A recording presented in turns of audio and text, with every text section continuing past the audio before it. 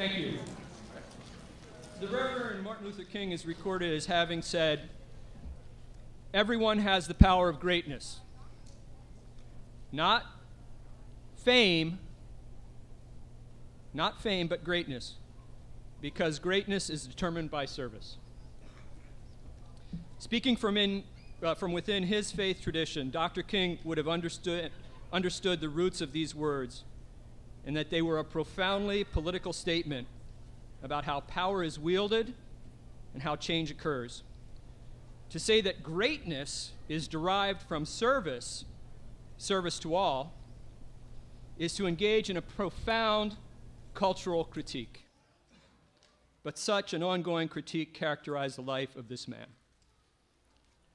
Thank you for coming to the 21st annual Martin Luther King Jr. celebration in Davis.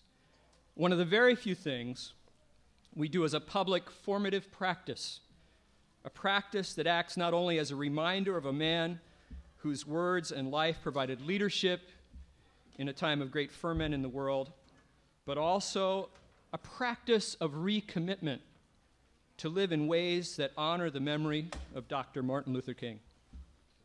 My name is Rob Davis.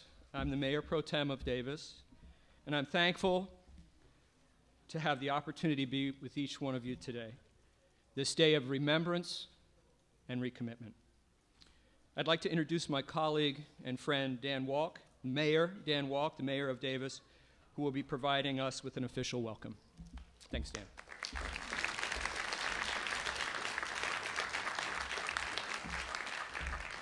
Thank you very much, Rob, and, and thank you for your friendship and leadership on the council. I do very much enjoy serving with you. And thank you very much for, for coming, everyone. I'd like to uh, throw out some more thank yous, if you will. Uh, I'd like to thank uh, Ellie Fairclough, who is here from Congressman John Garamendi's office. I'd like to thank Ruy Laredo, who's here from Assemblymember Bill Dodd's office. I'd like to thank Senator Lois Wolk, former Mayor Lois Wolk. Former Assembly Mayor Mariko Yamada is here as well. Uh, Supervisor Don Saylor, member of the school board, uh, Barbara Archer is here, and Jesse Ortiz, who's the Yolo County Superintendent of Schools, is here as well. So give those elected officials a round of applause, please. A couple others, um, no offense to the elected officials, but we have some real luminaries in our audience today. We have uh, the, uh, John Pamprin is here, and Dick Holdstock is here. These are two freedom riders and real institutions in our community.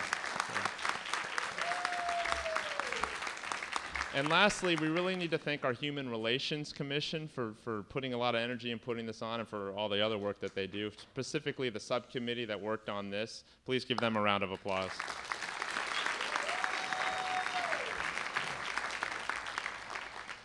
So I recently gave a speech, as some of you may know, in which I implored our community to renew Davis and renew our commitment to the ideals that made our community what it is today. And I'd like to see that, uh, I think that applies in this context as well. And I'd really like to use this opportunity now, this is the 21st year that we're doing this, to renew our commitment to this event and really renew our uh, you know, commitment to the ideals upon which this event was founded and, and of course, uh, the Reverend Dr. Martin Luther King Jr. Because even though we are in our 21st year of celebrating this event, uh, we still have a long ways to go to reach that mountaintop that Dr. King spoke about in his final speech in Memphis. One out of every four persons in California lives in poverty. We've got staggering inequality in California and throughout the nation, and we've got significant racial disparities in our country. So these challenges still remain, and I think it's really important to use this opportunity to you know, re-inject energy into that movement, the ideals uh, upon which this event really was founded. And I see that happening in two ways. First is really what the theme of this particular event is, and that's service. I have always viewed this day as a day of service. I think it's critical that everyone sees this day as not just about coming to this event and, and, and, and, and talking about these issues uh, and en getting energized here, but taking that energy and really applying it uh, you know, outside of the confines of this theater and really make this day about a day of service. But more than that, make it about a day of service not just for today, but for the 364 other days of the year. And I think that's really critical it's really, again, what this community is based upon. It's why, this, why we've had this event, and it's really what I hope that everyone takes away from this event.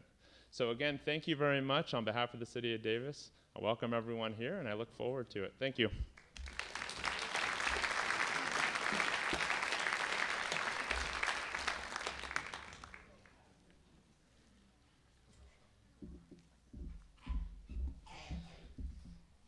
Dr. King also said, and it was on the screen earlier, you don't have to have a college degree to serve.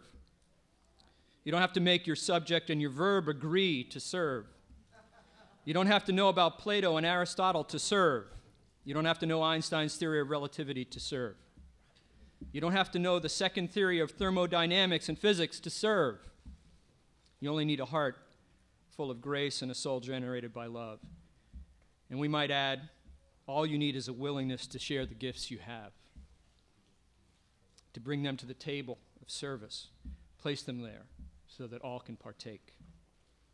We have several people today who willingly bring their gifts to share with us. I want to introduce James Williams, who is going to remind us that while we have come a long way in our celebration of equal rights, we have a long way to go. With his vocal rendition of A Change is Going to Come, please join me in welcoming Mr. James Williams.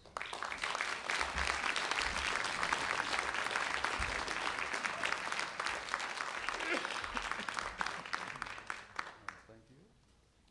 Uh, We're going to have a brief moment of uh, technical difficulty. It's mandatory. Okay. No, it's still not on.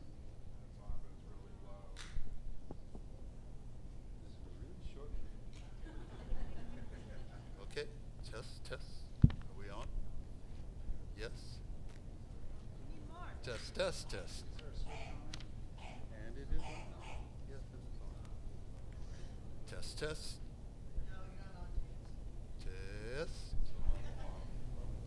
Grab your coat and get your hat. Right. Okay, I think I'm using the podium. No? Yes.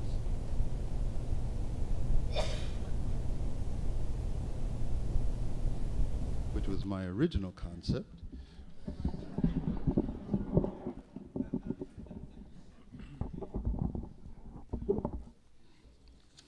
Very good. All right. Well, thank you so much for having me here today. Uh, I'm a little embarrassed to say this is my first Martin Luther King Day celebration in Davis, but as I am soon to be 10 years in Davis, hey, better late than never. Okay, see if I can read this.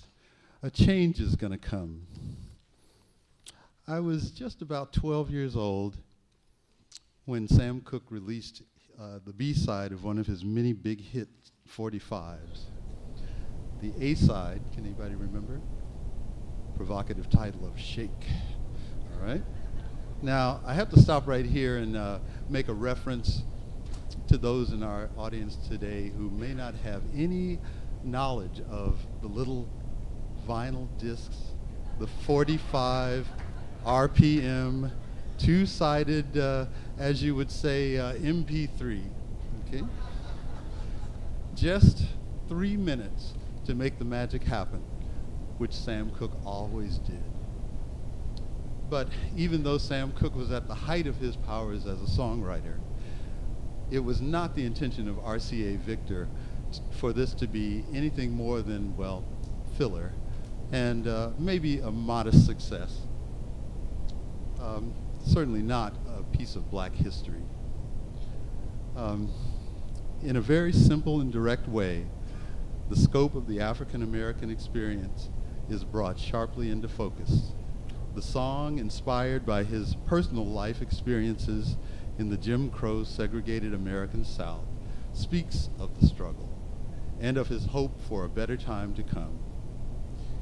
You can hear in, hear in it the historical perspective of one already once removed from the darkest of times, but also with the knowledge that there is still a very long way to go.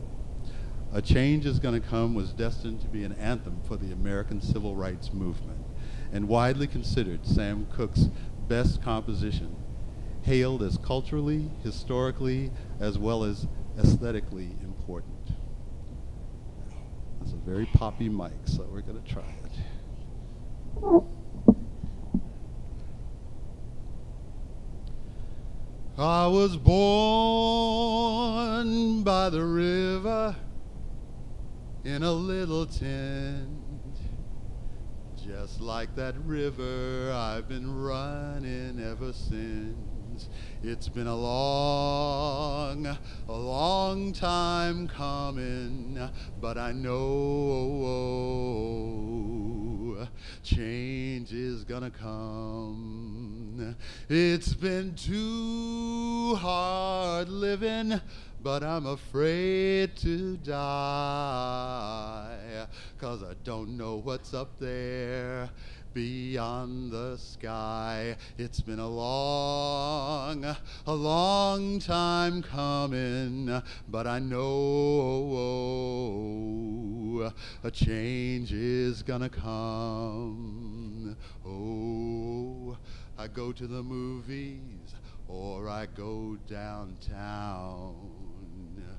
Oh, somebody's always saying, don't you hang around. Oh, oh, oh, I go to my brother. I say, brother, help me, please. But I find myself back down on my knees. Oh, there were times that I thought I wouldn't last for long. But now I have, I find I have the strength to carry on. It's been a long time coming, but I know change is gonna come. Yes, it's been a long, a long time coming, but I know change is gonna come. Yes, it will.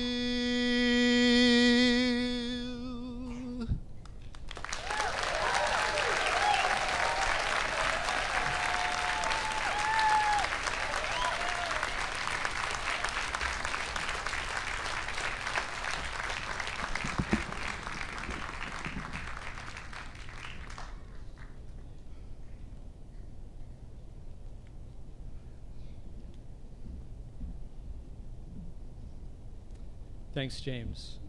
And that's the way gifts work. I kind of wish I had that gift, actually. you know, uh, people often ask, how can I best be involved in fill in the blank, helping my community, um, serving those in need, resolving conflict, working with youth? And I find that the question is often motivated by a fear. Fear on, on the part of the person asking the question uh, do I really have anything special to bring? Do I really have anything special to bring? My experience here and around the world is that we must see our community. We must see our community as a body. Not everyone is a hand. Not everyone is an eye. Not everyone is the heart. But just as no part of the body can choose to act on its own, so we in this community need the contribution of all parts. Bring your gift. Our next performance is by a person who has not only used his gifts to provide leadership through, throughout Yolo County, particularly in the environmental realm, he's also a talented singer and songwriter. Please join me in welcoming Mr. Clarence Van Hook, who will be sharing two songs with us today.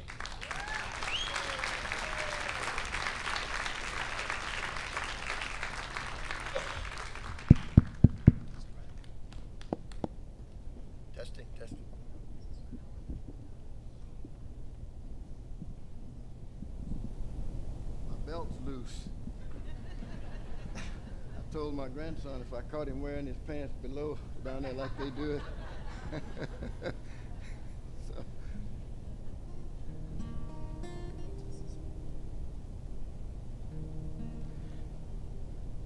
I uh, this little song I wrote. Title of it is "We Are Family." we're all God's children. And so I think I, I, I did this recording in uh, Johnny Otis' studio. Some of you may know Johnny Otis. And, okay, anyway, uh, I, I did this in Johnny Otis' studio, and uh, then he passed on. And uh, so I'm still, I went on and produced it, but I don't have uh, a uh, recording label. so anyone out there, we'll put this out because I think it's appropriate right now. It ought to be playing all over the world because we are family. And and and it, well, I'll just listen. The chorus goes like this, and you you can join me and we'll we'll sing it. We are family. We're all God's children, you see. For He's our Redeemer. He loved us so much that He gave up His Son to redeem us as such. So we are family. We're all God's children, you see. And then before we break up, we'll sit down and make up and stay a family. Let's do that chorus one more time. We are family. We are family. We're all God's children, you see. We're all God's children, you see. Before we break up, we'll sit down and make up. Before we break up, we'll sit down and make up and stay a fam. That's it. One more time. Let's do the chorus. We are family. We are family. You got it. We're all God's children, you see. Before we break up, before we break up, we'll sit down and make up and stay a fam. I'll do another verse. we are family. We're all God's children, you see.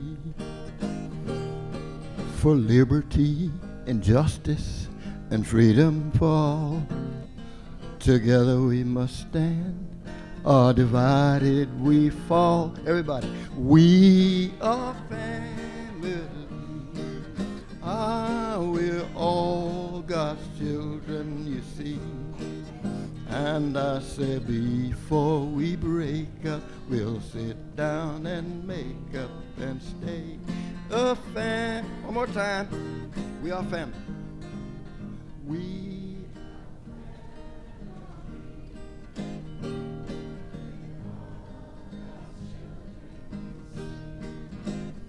I said before we break up, we're gonna sit down and gonna make up and stay a family.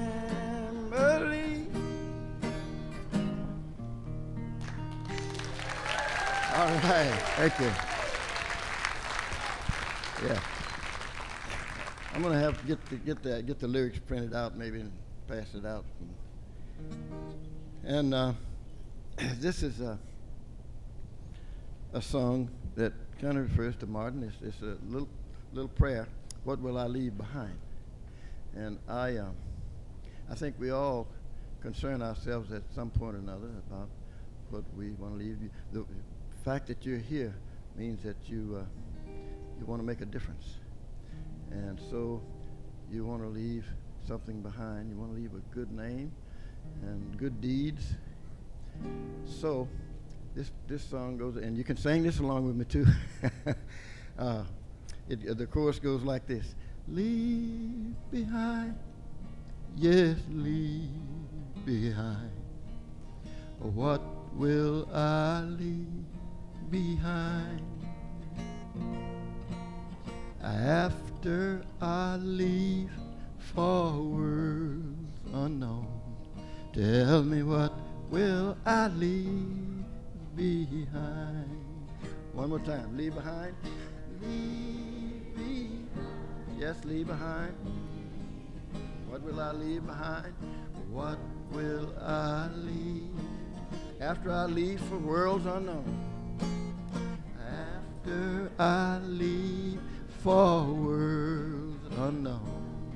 Tell me what will I leave behind? One more time, leave behind, yes, leave. Leave. Sing it out, y'all. What will I leave behind? After I leave for worlds unknown.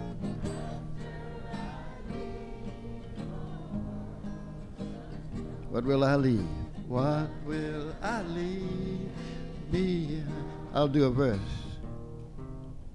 This is my prayer, oh Lord, today. Let me be whole, wholly thine. And after I'm called from earth away, what will I leave behind? Come on, the chorus now. Leave behind, yeah, leave behind. What will I leave? What will I leave behind? Oh, and then after I leave, gotta go to world unknown. Tell me, will I leave behind? I like this verse. Will I be missed by the ones that I love? Or have I been unkind? And have I been true to my God up above? Tell me what will I leave behind? Leave behind? Leave. Come on, y'all. Leave behind. I want to know what will I leave? I leave behind. Well, and then after I leave, gotta go to world unknown. Tell me what will I leave behind?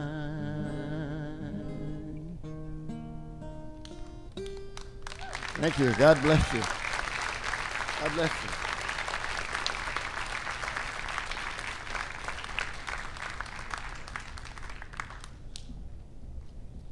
Thanks, Clarence. You may know that today is, is also National Martin Luther King Day of Service, and the theme of it is it's a day on, not a day off. As Dan alluded to in his talks, of course, we know that service can and must be extended beyond this day. Indeed, when it comes to service, there's no day off. To really help us think about service and the different forms it can take in our community, we have a special panel today moderated by the co-chair of the Davis Human Relations Commission, David Greenwald. I'm going to ask David to start making his way up here.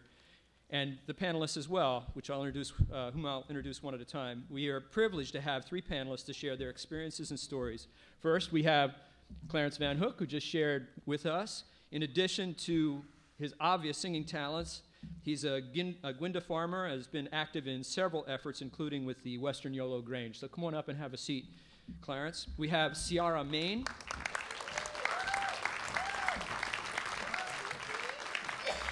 You can learn more about Ciara here. Uh, Ciara is, um, has been a driving force locally with the Get on the Bus program.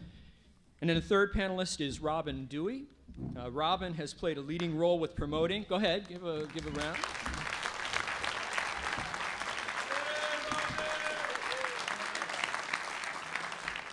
Robin clearly brought family members today. Um, leading role with promoting and sustaining Team Davis Special Olympics. So, with that, we'll invite David to come up and lead our panelists in a discussion.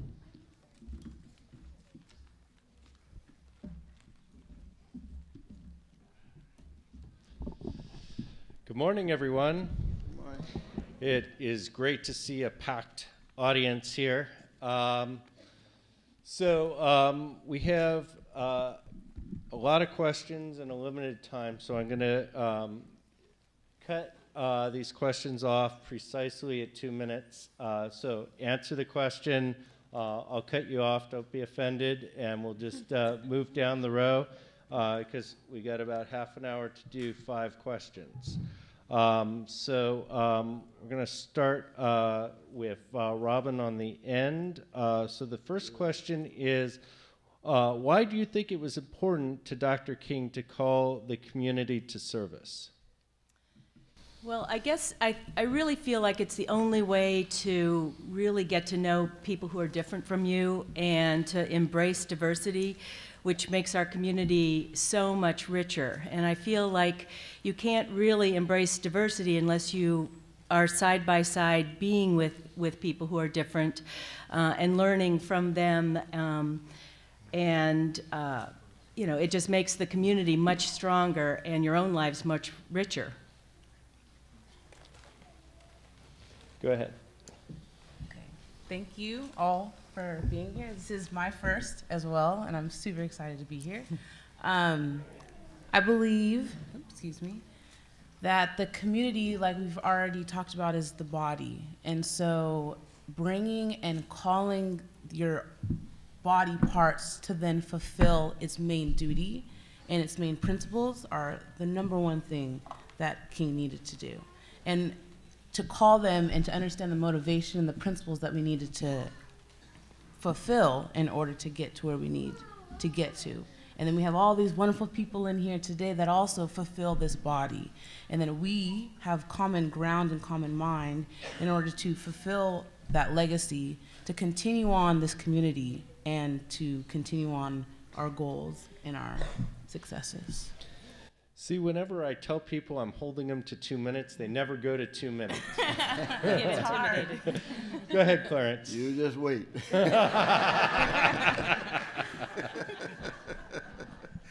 um, I um, I was uh, born in Arkansas. Uh, man, I brag about it now. I'm very proud of, of my age. So you have to, people get tired of hearing me tell them. I'll, uh, I'll be 83 in April. yeah. So, and, I, and I'm, I'm proud of it. I was born in 1932, back in the day when, when civil rights didn't exist.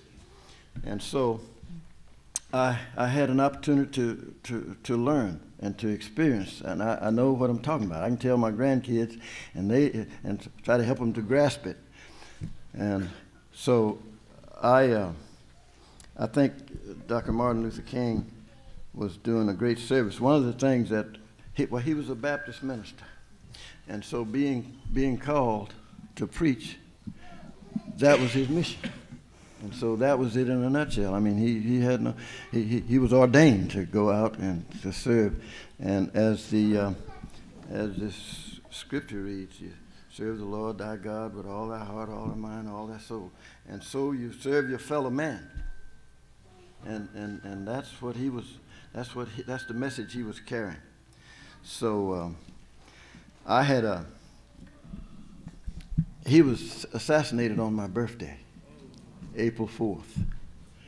And I had an opportunity to meet him, and as, as I, but I didn't get as close to him as I would have as I, if I had known, but you don't know. So, and you don't make friends because of the, who they are in a way, but, but uh, you know, you, you would like to. Muhammad Ali used to beg me to come to Louisville to go to the Kentucky Derby with him, and, I, and so I never did. And now I regret it. And, and, and I, would, I, I want to go visit him, but they say they won't let people come. But he and I were close. Uh, All right, Clarence, I got to cut I you told you. okay, we're going to start uh, with, with Ciara this time. Uh, how does service promote diversity in communities? So, um, how does it support? How does diversity support? How does service support Service. diversity in communities?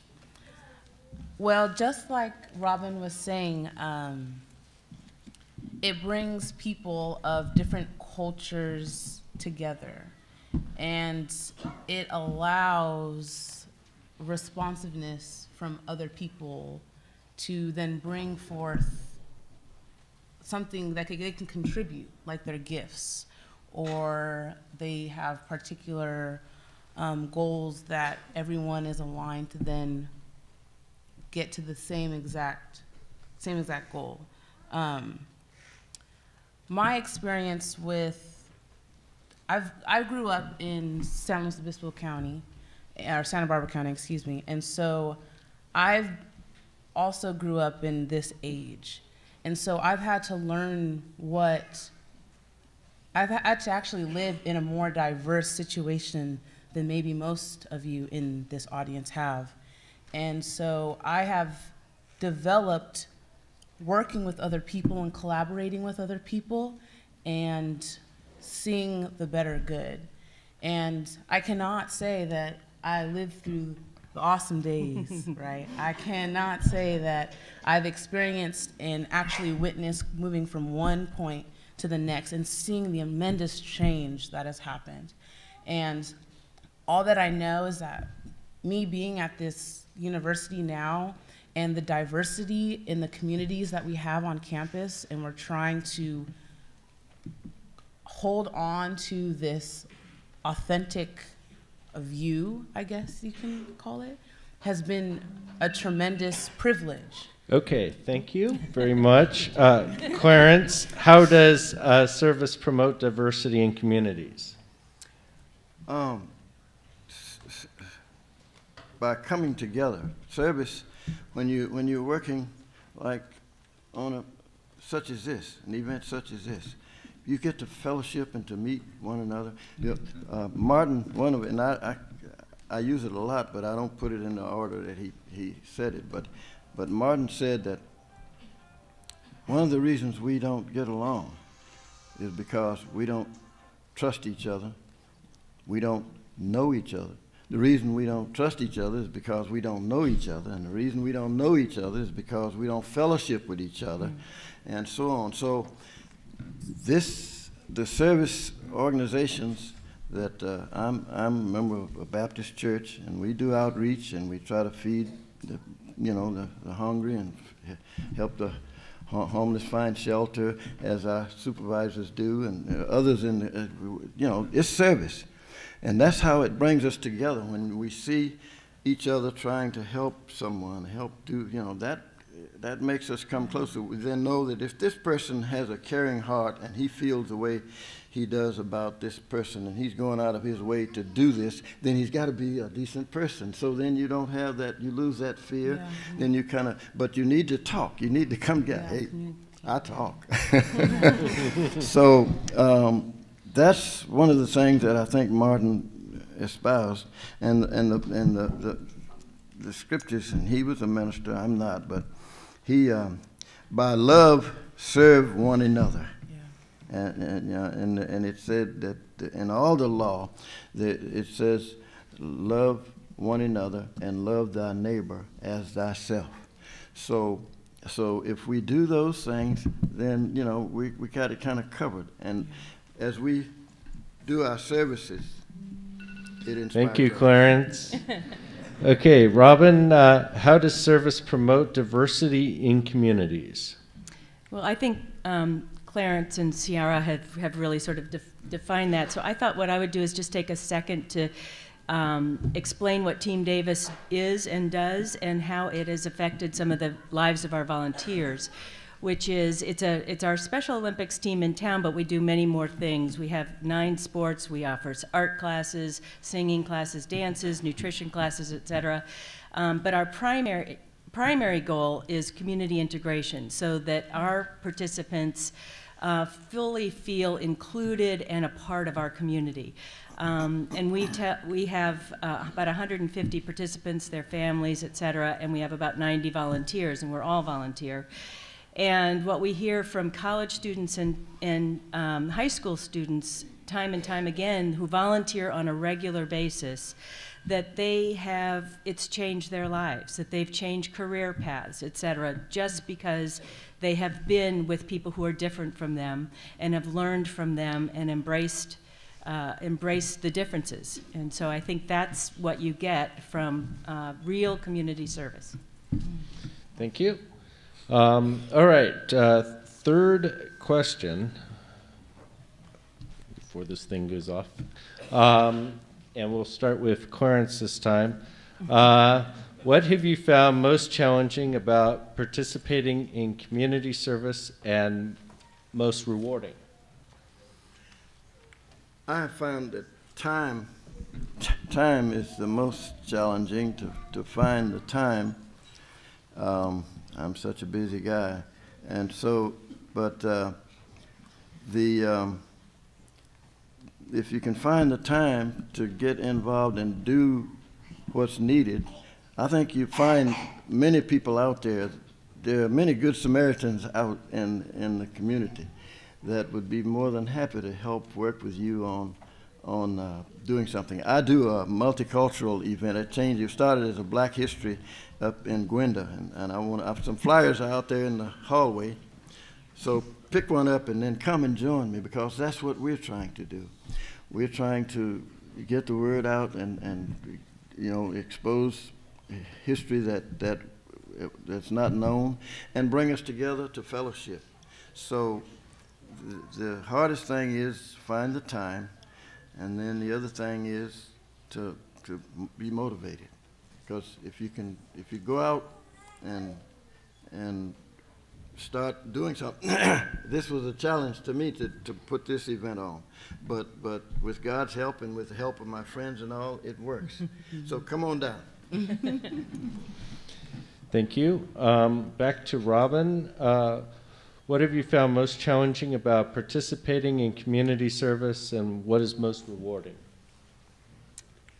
Um, well, personally, but I think I can speak for our other volunteers, what's most rewarding is the richness um, uh, that I feel of my life. And, uh, mm-hmm. you know, the, the embracing a community. I have a I have several communities, but Team Davis is a very very important one to me, um, and so I feel like, you know, that's probably for me and the other volunteers the most rewarding.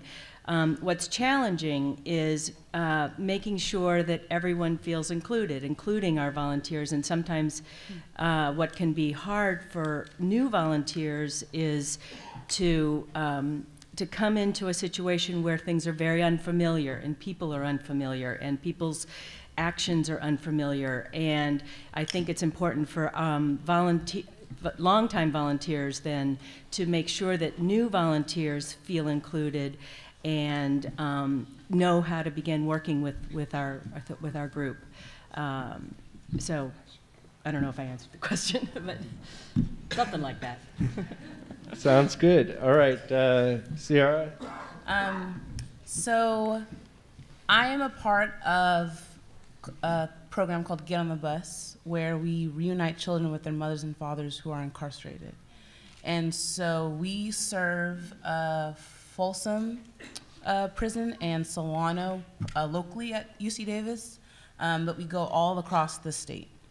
And so my challenge that has been over and over again in terms of me serving have been recruiting people who have the same drive and understanding that we are serving the children in this and finding people who understand that stigma that is floating around in this controversial situation. And so um, that is the logistical challenge, I guess, but the biggest challenge for me personally is not getting all of these children the opportunity to see their parents because it is very difficult for people to get from point A to point B, and that is all we provide. And we go to 13 to 20 prisons each year. And it's heartbreaking. Um, in that being said, it is a privilege to be even a part of something that is spectacular. I will just go in on my like program because I love it so much and I am just so thankful that it is actually happening. It started in 2000 and we are 2015. Oh my goodness. and it has just blossomed and we serve so many uh, prisons and parents. We reunite families and that is the most amazing thing that I could ever do.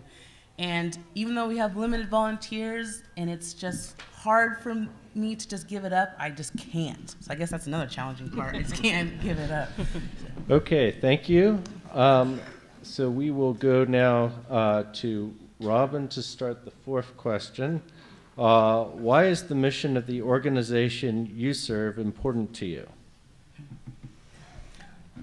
Well, I, I think we've talked a lot about what um, what's important, and that this is a population, the population we serve, those with intellectual and, and physical disabilities uh, in Davis, is, is often, like other sort of vulnerable um, minority populations, is often invisible and feels misunderstood and is not accepted. Um, and so uh, it's important, as I said, our, our, our, mission is, is to increase the community integration so that we can increase understanding.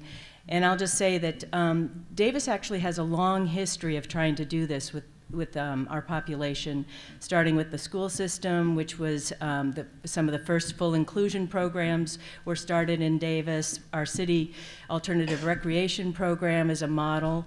Uh, across the country. Um, we have UC Davis Best Buddies uh, chapter on campus that was awarded the best chapter in the state, um, which is, puts to, uh, college kids together with people with disabilities. We have an autism awareness program on campus. Um, UC Davis chose this year for uh, to pick Temple Grandin's book as the campus book project. Temple Grand- Grandin is um, the most famous person with autism in the country, and her her speech, which is going to be at the Mondavi, is almost sold out. So I think we have a lot to be really proud of um, here in Davis, but I also feel like we have a long way to go. And so that's our, our mission. Um, so when, when people um, uh, criticize folks for coming to movie theaters and making noises when they are um, other people are laughing and make them feel bad uh, when they when people use the R word um, just sort of indiscriminately and with, without you know thought like my hairdresser did recently, that's not acceptable, and we have a long way to go to, to fix those things here in Davis.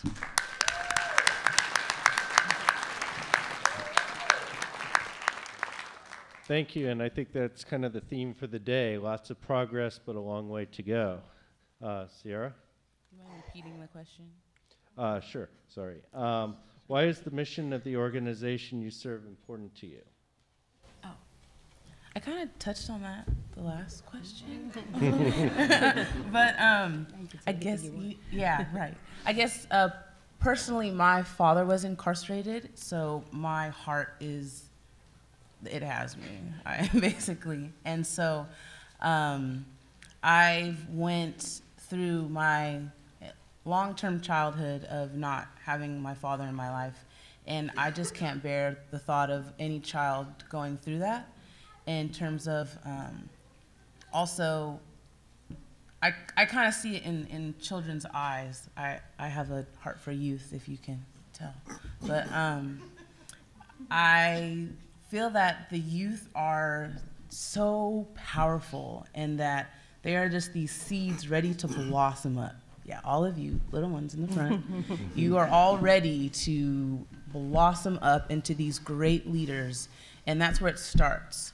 Um, I think five years old, you, you, you're, you're ready to just go out and be exploratory and say, I like this, I like that, and I want to be this great endeavor.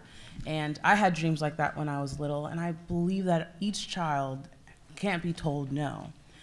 Don't, don't go to your parents now and say, no, don't do that. That's not what I'm saying. But definitely strive to do whatever you want to do, wear whatever you want to wear, as long as the parents say it's okay.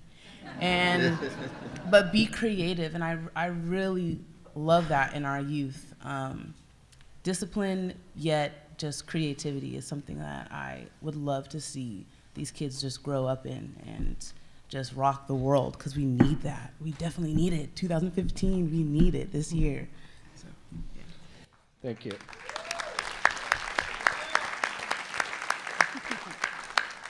And I'll add real quickly that I see all these uh, little kids yeah. uh, sitting out in the audience behaving so well and uh, sitting so patiently. So thank you.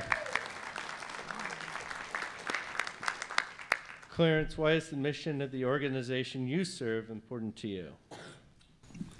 Well, it's uh, Greater Second Baptist Church in Woodland, California, on 2nd and Main. You're all invited to come, 11 o'clock on Sunday.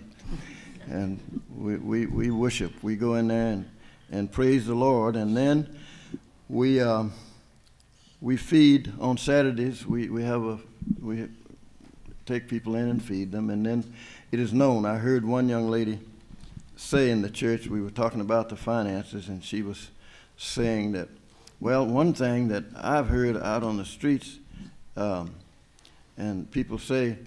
Um, if you ever need any money uh, for food or whatever you need, just go, go down there to Second Baptist and they'll give you, they, they'll just give it to you. and so some thought that may not be good, but I thought it was good. That, you know, if you have it, uh, why not, you know, and let them come. And so um, the church, it does a lot of good things, and, and I think that it is worthy of uh, support. I also, I belong to, I'm a joiner in a way.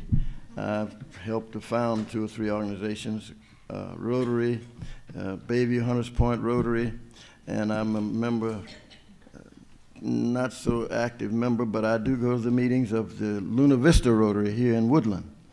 And the motto of the Rotary is service above self. And I, I, I think that's a good, a good motto. And uh, I, I think uh, a gentleman in the community where I live said about the Methodist Church, he was a member, and I, I joined, I was lay leader in, in Guinda for a while. And he, um, he says, Clarence, I tell you one thing about this Methodist organization they send a lot of money overseas over there to Africa. and so that means that they were doing some good things to help. So that, that, those, that makes me proud to be a part of those kind of service organizations. We're running a little ahead. That's why I didn't cut anyone off.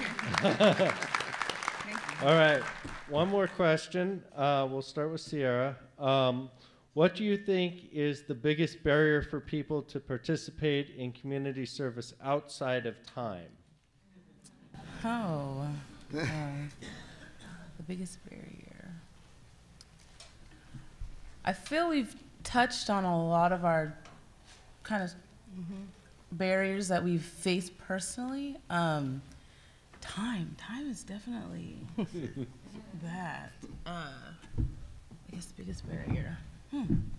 Um, I would have to just go back to uh, getting passionate people, or or I guess maybe the biggest barrier is to continue the progression. The you start off and you're ready to go, right? Like, yeah, we got all these fun people, and we're excited, and we're gonna help children or serve like get people in and feed them and all this stuff, and then the momentum kind of dies. and I think that's the biggest, it's a barrier. It's a barrier that's always there, and it's about con- constantly jumping that barrier. And the barrier can come in all shapes and sizes, but something always blocks your momentum. And then getting that strive to just get back up again and say, all right, let's just keep on going. Let's just keep on going funding's not there. Okay, we're gonna keep on going. Volunteers aren't there. Let's keep on going. I don't know what I'm doing, but I'm gonna keep on going. and so that's where I'm at right now a little bit, but it's okay.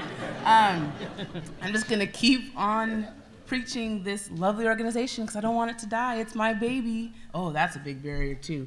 Making it your baby and not being able to nurture it the way it needs to be nurtured. That's that's probably the biggest barrier. But please, you can always talk to me afterwards um, about how, if you're all doing organizations or something like this, and you're trying to get your little wheels turning, I would think any of us would be willing to sit down and talk to you for a couple minutes. We're definitely willing. So thank you. Thank you. I, I think I speak for a lot of people. By the time you know what you're doing, it's time to hang it up. Uh, yeah, yeah, that's true. Clarence, what's the biggest barrier outside of time? Um, you know, I think it's uh, motivation, motivation. And like I was saying about my church, the church kind of tends to motivate. We go into the church and we sing, and of course we we have a good musical celebration and, and lifting him up, and and then we and I like to say, now go out and serve. And and and and those people, the members of the church, I think they get motivated. That's what the church should be about, is motivating us to love one another, to serve one another. In this scripture, I, I had some scriptures that I was going to, but we ain't having church today, but come to come to Second Baptist some Sunday. Anyway, the, the, the, the motivation is what I think is missing in some ways, and I don't quite know how um, how there's some brains here, and uh, think about it. I, I, would like to find a way. I thought, I thought maybe if people who are working in organizations like the Rotary and, and other organizations who are helping others, like you doing, you're doing that, and it's obvious. You should be tax exempt. They shouldn't be. Uh, IRS shouldn't even have your Social Security number. right. so those numbers. So so so let's let's think about that. Why not? Because that's a better way to motivate to serve uh, the welfare of others. And so, of course, you don't need. We do it because I don't need anything. Yeah. I love doing it, and the joy I didn't tell you about. I just get a joy out of seeing the the results of what I have done to help someone. To help, I'm a contractor, and I have several young men that I helped get into the electricians union and helped to get into the to the uh, labor union and all that. I helped them. And what blesses my heart is sometimes I see them, they say, Mr. Van Hook, how, how you doing? I'm Harry. You know, you, you helped me get into the union. You remember me? That, that's what I do it for. And in a way, I do it because I have the empathy. And my religion says do it. But anyway. I heard that. All right, Robin, you get the last word. Biggest barrier outside of time. Okay. Um, well, as you two were talking, I was sort of thinking about how lucky we are that uh, in Team Davis that we have some really long-term volunteers who have programs, they run with those programs, and so I think one of the challenges is making sure that your your group is organized so that it's not just one person doing everything or two people, it's several people that really feel responsible for that organization and, and can run with it. And so that's one challenge, and that I feel like has really actually been working really well with, with our group. Uh, we feel very lucky about it. Um, and I think another challenge besides time is uh, new volunteers will come to us and say, well, I don't really, and I'm thinking about what Rob said and what Dan said. I don't really have anything to offer.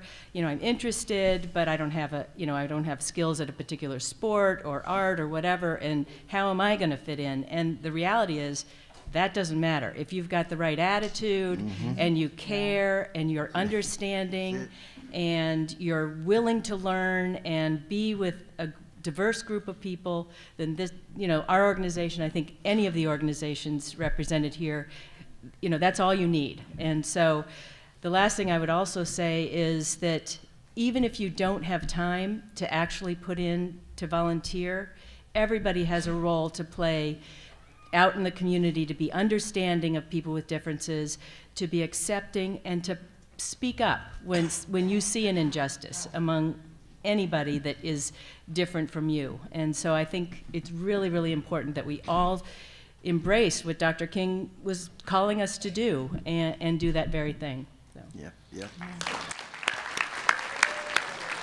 I'd like to thank our panel very much for their participation.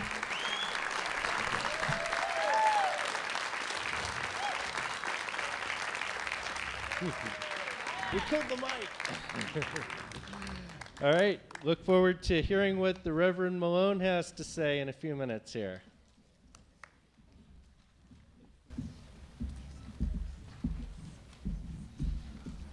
Well, it's evident from. Well, let's give him another round of applause. I mean, we, kn- we know it. We know that, that service um, can take many forms. Um, you, Robin, Ciara, Clarence, um, you're part of a body, of a community of witness. Martin Luther King talked about the beloved community. It doesn't spring from the earth. It's a community of witness, it's a community of action, of persistence and commitment. So thank you for your examples. Thank you for your leadership. Next, uh, we're in for a special treat as we listen to the captivating voice of Ms. Nathalie Minya. Ms. Minya is a motivational speaker, an entrepreneur, a designer, a singer. The list goes on. Today she'll sing for us Uh, Ms. Minya strongly believes that everyone is here for a purpose and should find and can find their potential in service to others.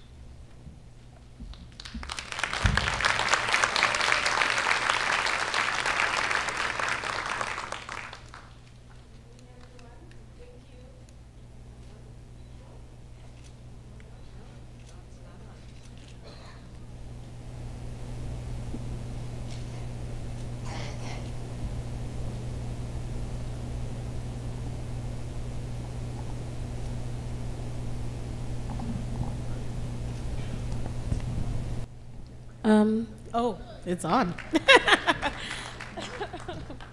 right. Um, the spiritual I'm about to sing today uh, was the lyrics of it was written by John Newton, a famous in the in the at the time slave owner. And history has it that he was inspired to write these lyrics when his ship, which was transporting slaves from Africa, was about to capsize and he, he, he, had, he was inspired to sing these words. The fascinating thing is that the books say lyrics, John Newton, melody, unknown. And many theorists believe that he heard the sound and the melodies from the slaves down below singing as they also were in fear of their lives. I find this very interesting, this theory, because as a person born in Zimbabwe, Africa, I know when times are tough, all we can do is sing those chants or those hymns that bring us closer. I can imagine during that time, they probably sang something like, Zicomborero, Zicomborero, and many other funeral songs. But, however, whatever the theory might be, we may never know. I find that this song that is sung all over the world, a song written by a slave owner, something that was meant to divide the world, has come to unite us as a people. The song is sung all around the world, primarily by African Americans, Africans, Europeans, you name it, people of all tribes and colors. And if there's anything I can think of dedicating to a person who stood for unity, for the world, a world hero, is Martin Luther King. Amazing grace, how sweet the sound that saved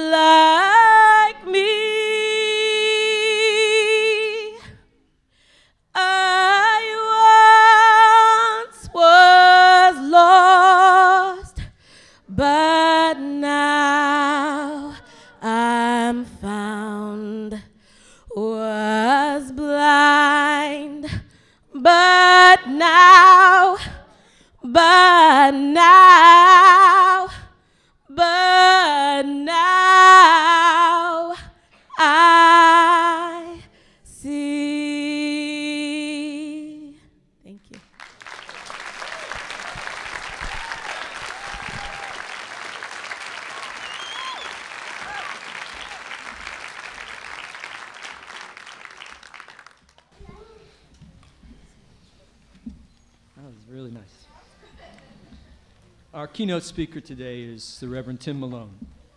Reverend Malone is a longtime Davis resident, founder of the regional Martin Luther King Jr. Scholarship Program, which has provided thousands of scholarship dollars to college students. He's provided campus ministry for UC Davis for years and was previously the director of the Broderick Christian Center in West Sacramento. Service is integrated into everything he does and everything that he lives. Join me in welcoming the Reverend Tim Malone.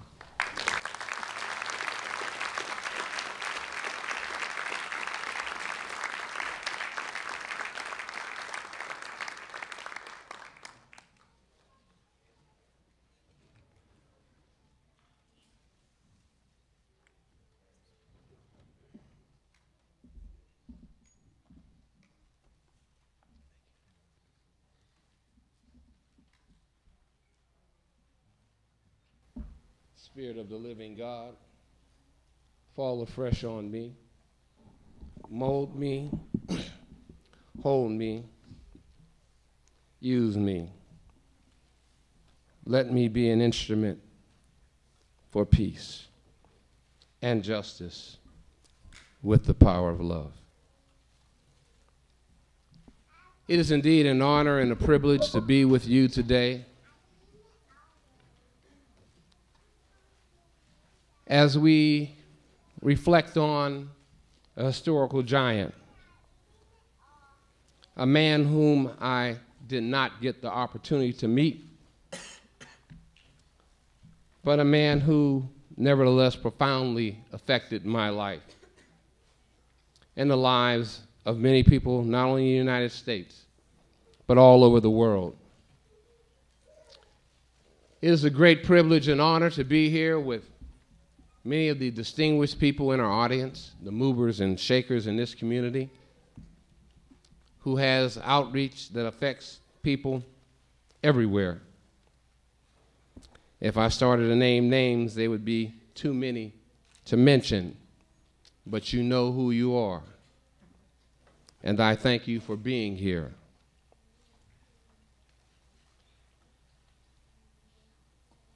When I was a a child, a young man.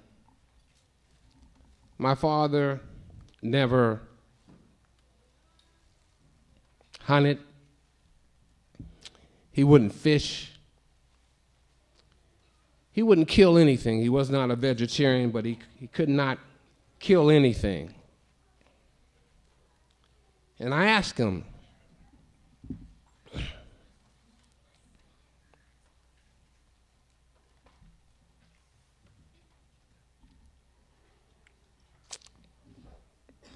I said, Dad, why? He said, Son, I fought in World War II.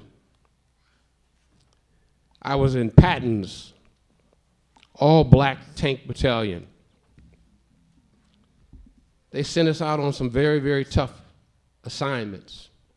Some of them actually were suicide missions. He almost died three times. he was coming back from the war.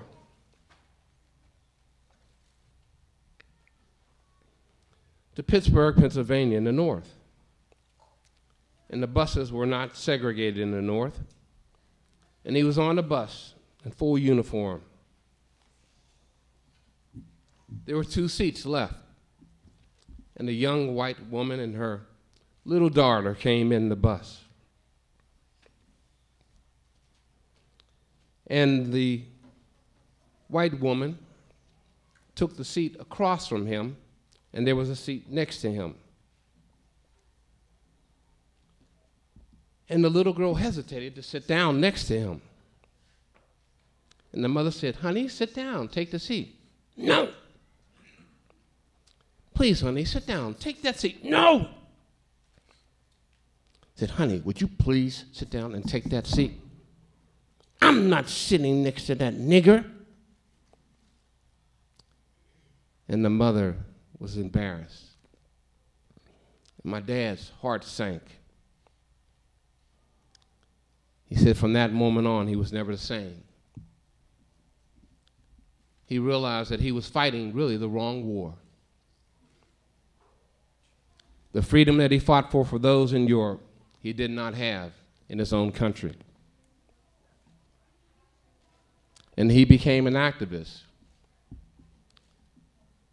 In the swimming pool that I swam in, he told me the story that when he got back to Pittsburgh, that particular public pool was a white only pool. And he got involved with some activists, and he was the first African American ever to swim in that pool. They had to have guards to let them get in to swim and guards for them to come out. My father was never the same. Dr. Martin Luther King Jr.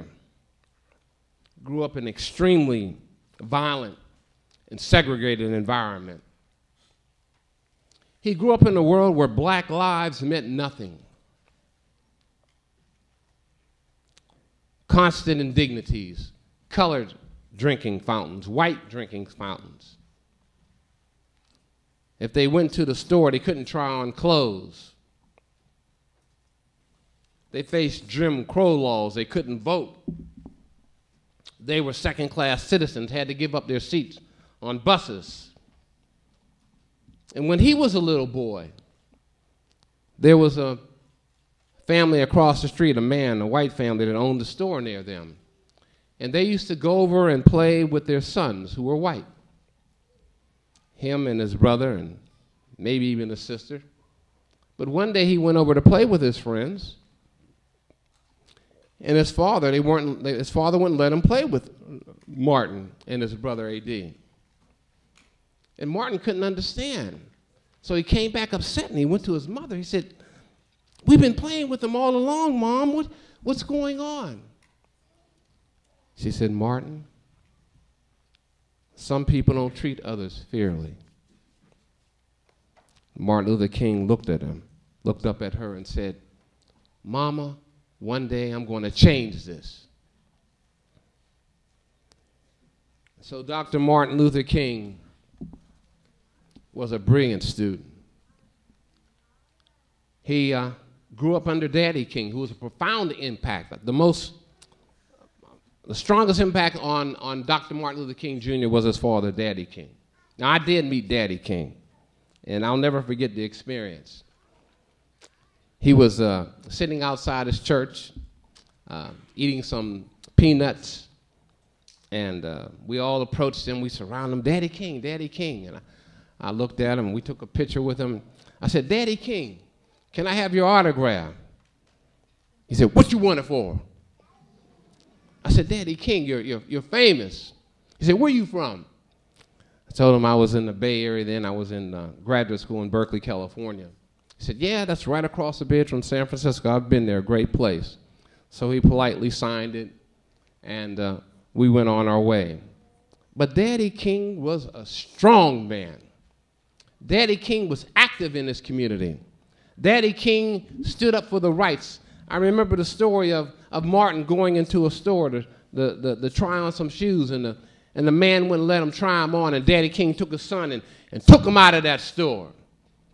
I remember when Daddy King, the story of Daddy King was stopped by the police for whatever reason, and the police called him boy, and Daddy King pointed at Martin Luther King Jr. Said, You see that? That young man, that's a boy. I'm a man.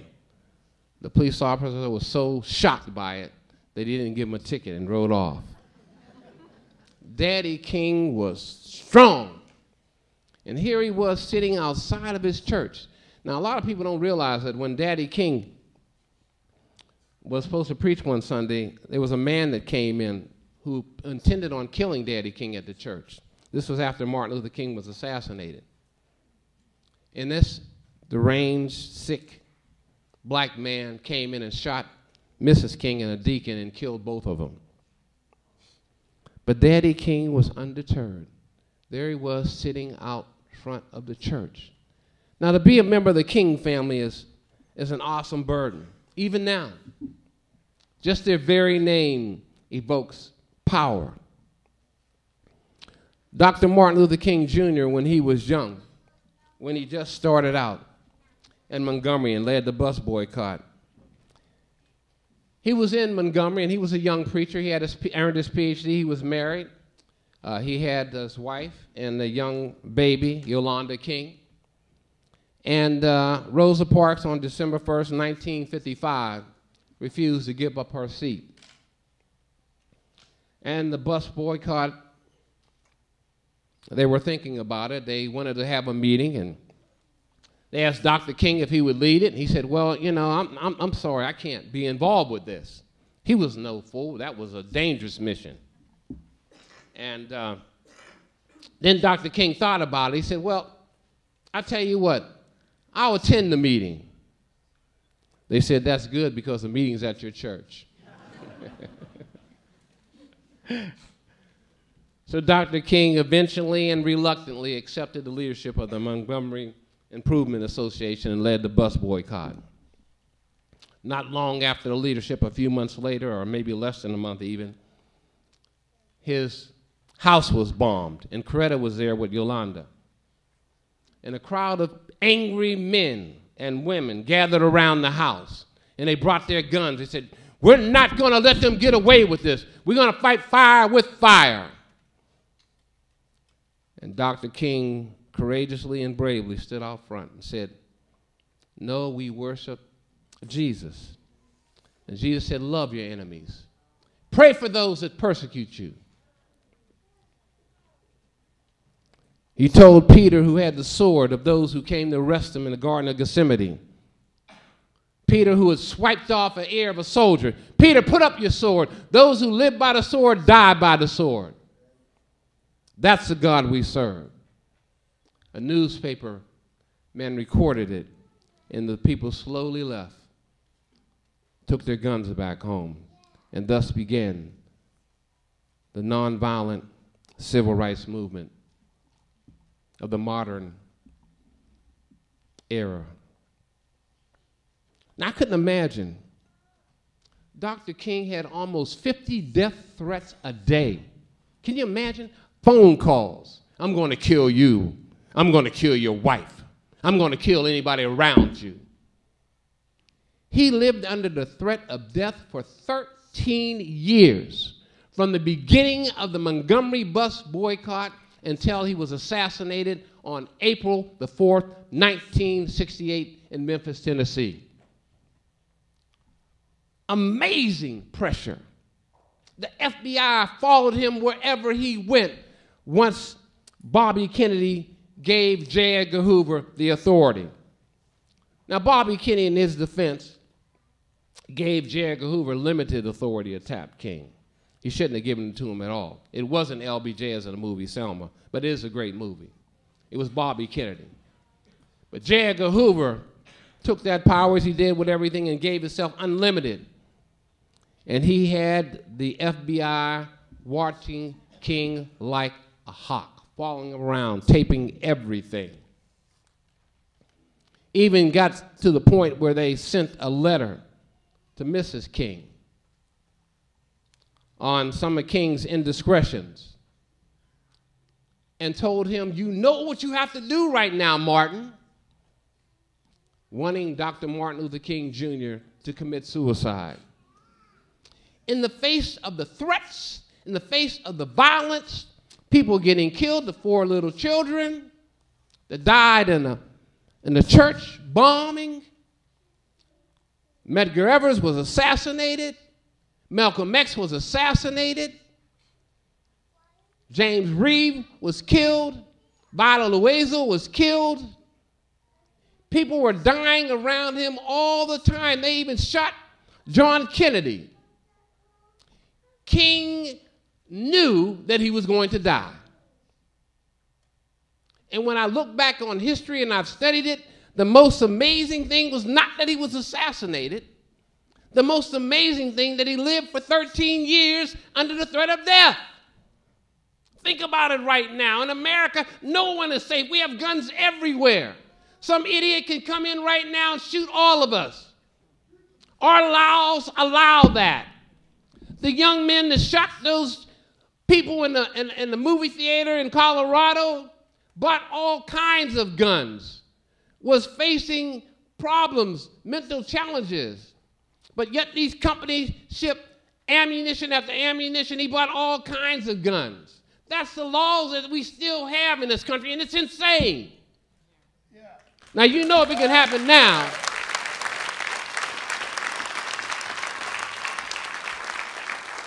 If that can happen right now, you know how easy it was for them to kill Dr. King back then. The, people don't realize that after Dr. Uh, after uh, Malcolm X was assassinated, the tremendous pressure that was placed on King. People don't realize that when he died, a lot of people, I should say, don't realize that when he died, he was not a hero. King was hated. And this is the thing that we need to understand about religion.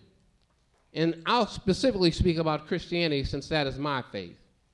And as a Baptist minister, I understand the tradition of Dr. Martin Luther King Jr. In the Black Baptist Church, there is no more important place than the pastor of that church and Black Baptist ministers. They are the kings, they are the princes, they are the part of royalty to be respected. But the other thing that's important is that we are looked upon to speak up for the people in our community. We are to be the voice. We are to be the strength. We're to stand up for the oppressed, for the poor. That's our job. And Daddy King fulfilled that role, and Martin Luther King even took it to a higher level. He not only spoke up for black folks and African Americans, he spoke up for the poor. He spoke up for those in Vietnam that were being killed indiscriminately by our bombs. He spoke out against materialism.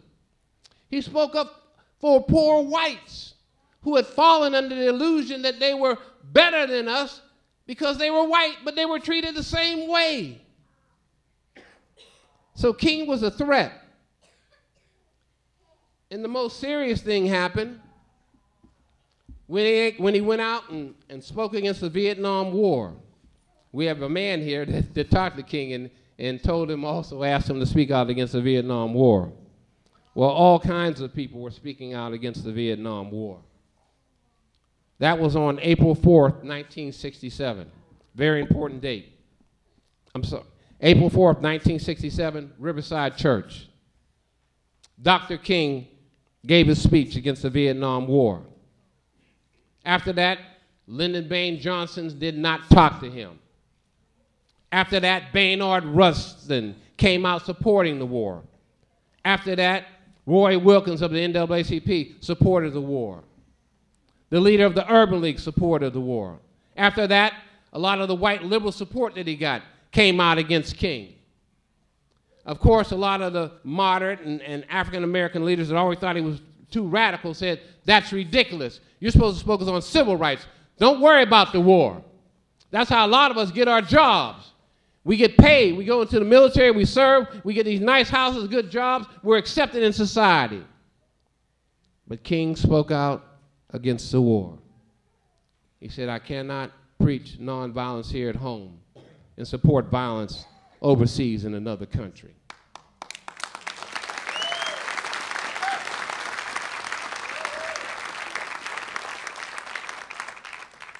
After the assassination of Malcolm X, the black radicals criticized him, called him an Uncle Tom.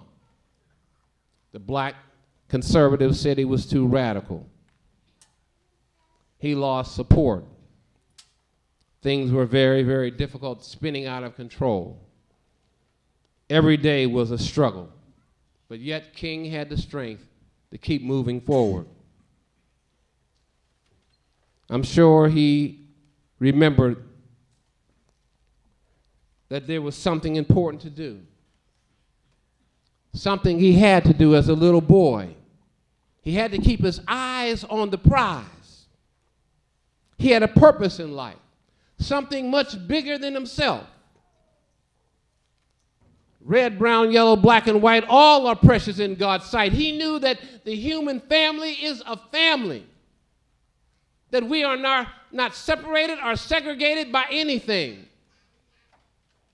He did not fight against individuals. Dr. King fought against injustice. He fought against an unjust system that killed innocent people, that held people down red, brown, yellow, black, and white. And that's what made him dangerous. Because those who benefit from the system are rich they're wealthy, they're connected, they're powerful. Don't rock that boat. When you speak against militarism, materialism, and racism, you're talking about three giant evils. When you speak about against the military industrial complex, you're talking about billions of dollars.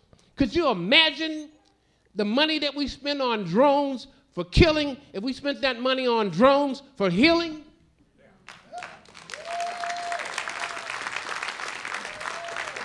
Can you imagine if we took the money that we spent on prisons and put them into building up our communities and, and making our schools better, what we could do?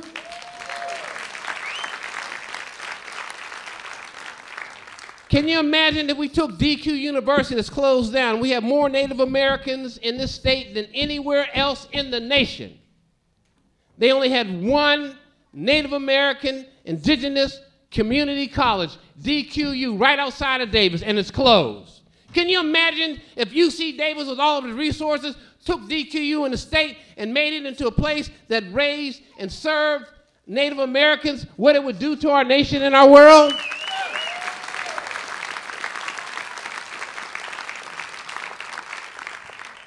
We have a lot of work to do. We're just beginning. What you need to know is that Jesus was a radical.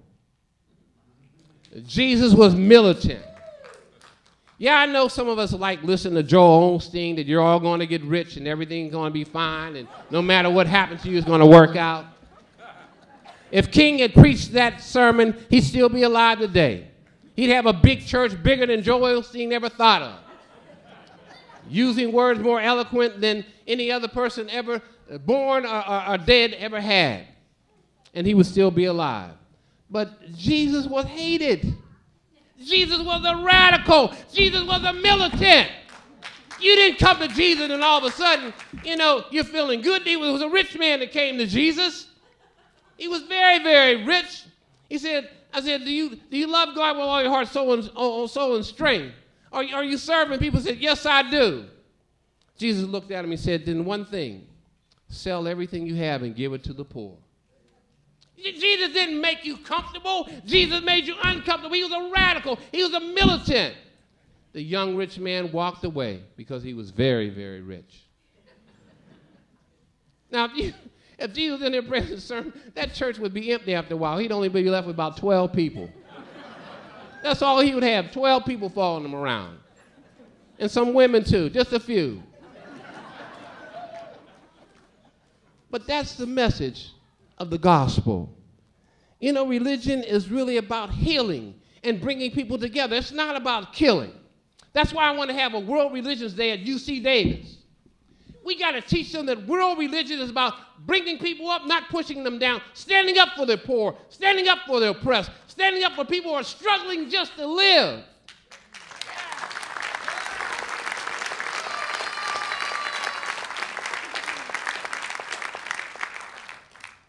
Two months before he died, February 4th,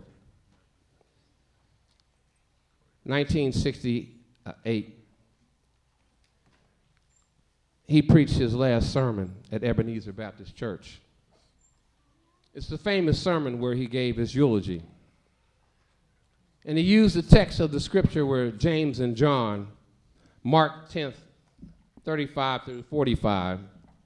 And basically, they came to Jesus saying, Hey, Jesus, you know, we want to sit on your, your right side and, and left side. And uh, uh, Jesus looked at them. Dr. King called this sermon the drum major instinct. Jesus looked at them and said, You, you don't know what you're asking. They said, Yes, we do. He, he said, Are you able to, to drink from the cup that I'm going to drink from? Or not, are you able to suffer like I'm going to suffer? They said, Yes, we will, Jesus. And Jesus looked at them. He said, You know, that's really not my decision. The seat on my right and the seat on my left are reserved for those who are willing to serve. Because the greatest of you must be the servant of all. And King said that's a new definition of greatness. Because anybody can be great because anyone can serve. Yes, we want to be first. We want to have that drum major instinct. We want to lead the crowd. He said that's a good instinct if you lose, use it right. It's okay to want to be first, but be first in love, be first in justice, be first in service, because the greatest of you must be the servant of all. And then he went on to say, he said, if any one of you are around when I come to meet my day, I don't want a long funeral. And if you get somebody to deliver the eulogy, tell them not to talk too long. He said, if you ask them what I want them to say, tell them that I tried to feed the hungry. I tried to clothe the naked. I visited those who were sick and in prison. I tried to love and serve humanity. And that's all I want you to say. Because when Jesus was asked about the kingdom of heaven and getting to heaven, he told them a story, the parable of the final judgment of sheep and goats that were separated on the right and the left. He said, I'll tell those who are on my right, come unto me that to the kingdom, a place to prepare for you since the beginning of time. For I was hungry and you fed me. I was thirsty and you gave me a drink. I was a stranger and you invited me into your home. I was naked and you gave me clothing. I was sick and you cared for me. I was in prison and you visited me. It's not how much money you had, how many degrees you had. It's not how many inventions you had, how famous you were.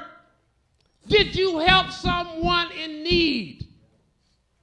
It's not what color you are, what family you came from. Did you help someone in need? Did you make the world a better place? If you did, this is for you. Welcome into my kingdom. He kept his eyes on the prize. King said, injustice anywhere is a threat to justice everywhere. What did King want? What was his prize? King wanted justice. Malcolm X wanted justice. Fannie Lou Hamer wanted justice. Goodman, Schwerner, and Cheney wanted justice. All the great people in the world want justice for all. Why? Because justice brings us peace. And peace brings us freedom. And freedom allows us to live a great life. And, and living a great life allows you to love. And the Bible said that God is love.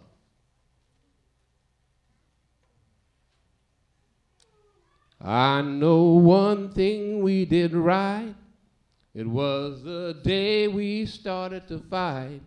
Keep your eyes on the prize.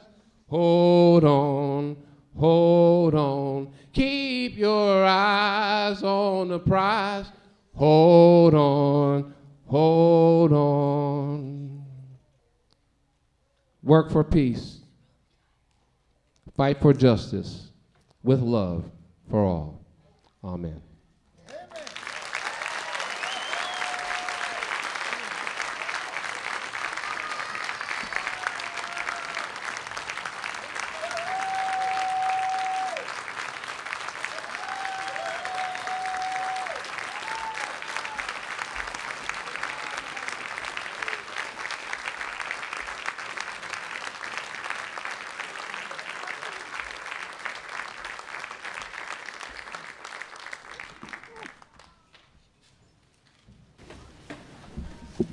Thank you, Reverend Malone. I hear in, uh, I hear in your words the title of your sermon, which is that service has a, has a cost, service has a price. Um, I think when we serve from a place of privilege, and I acknowledge my privilege, we have to acknowledge our privilege. When I have served from a place of privilege, and I have done that, I confess, it's about me defining what you need and condescending to help you. But that's not what service is. Service has a cost. And the only way we're going to serve in the way of Martin is to get down where people hurt, is to learn the way of brokenness, to walk with it. That's the way I want to serve, and that's the way I hope our community will serve one another. We're going to conclude our program today.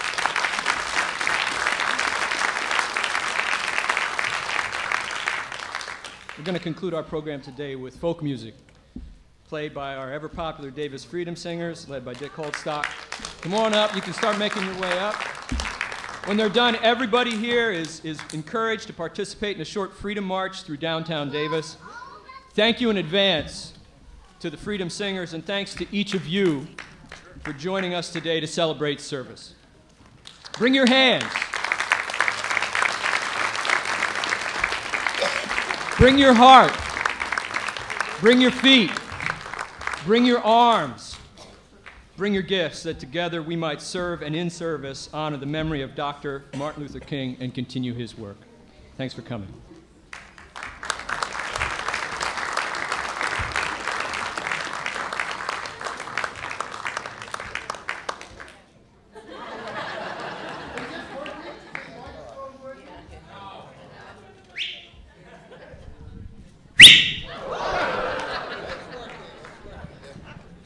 Okay, so uh, please come up and sing with us, and uh, we're gonna we're gonna sing zipper songs. That means that there's a, a line that keeps on repeating itself, and then uh, we just put another thing in there if we can think what to put in next. But listening to that wonderful talk, I want to start with "Oh Freedom," and uh, so "Oh Freedom." Now you get the idea. You're, Oh, freedom. Oh, freedom. Oh, freedom over me. And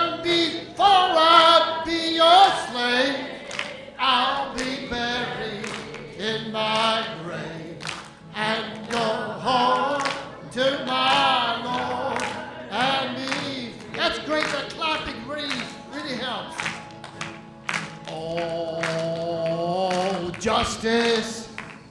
Oh,